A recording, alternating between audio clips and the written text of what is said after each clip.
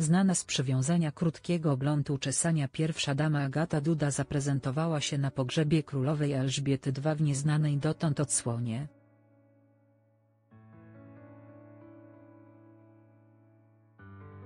Korzystna zmiana znak zapytania. Na poniedziałkowych uroczystościach pogrzebowych królowej Elżbiety II naturalnie nie mogło zabraknąć polskiej reprezentacji.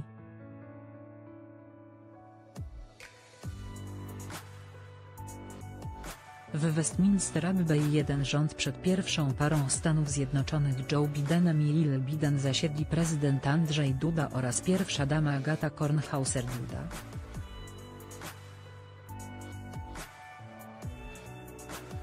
Naturalnie to właśnie polskiej pary prezydenckiej najbardziej wyglądaliśmy podczas relacji na żywo z mszy.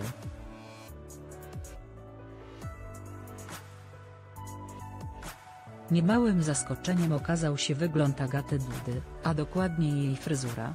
Choć na głowie pierwszej damy znajdował się czarny toczek z woalką i tak można było zauważyć różnicę.